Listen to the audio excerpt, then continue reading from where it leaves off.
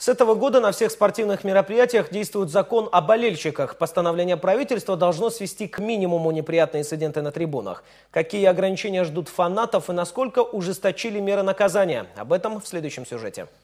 Так называемый закон о болельщиках является дополнением к федеральному закону от 23 июня 2013 года об утверждении правил поведения зрителей при проведении официальных спортивных соревнований. К правилам никакого алкоголя, наркотиков и оружия добавили еще ряд запретов и ограничений. Контроль над баннерами и флагами усилится. Теперь все иностранные надписи на транспарантах должны иметь перевод на русский. Организаторы соревнований будут заранее проверять нотариально заверенный перевод текста. Скрывать лица и бросаться различными различными предметами также запрещается.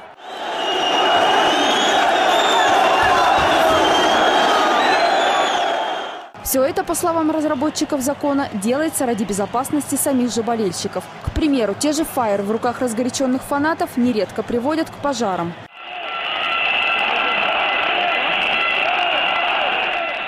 Под запрет попали и некоторые музыкальные инструменты. Исключение – горные дудки, но только в секторах активной поддержки.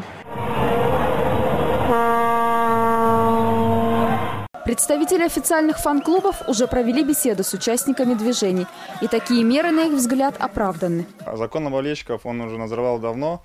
А, а то, что касается наших болельщиков, как он э, повлияет, да, наши болельщики никогда не участвовали в фаер-шоу или каких-то оскорбительных плакатов, э, оскорбляли там соперника, футболистов там и так далее.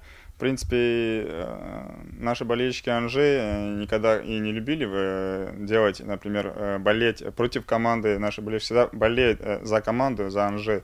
Но с этим согласны не все. Футбольные фанаты уже высказали свое мнение в интернете. Положительных комментариев мало. Большинство считают, что эти запреты ущемляют права болельщиков. Это закон является слишком жестким для болельщиков фанаты должны жить своей жизнью. Правительство не должно их стеснять, и как бы это очень жесткий закон, по моему мнению.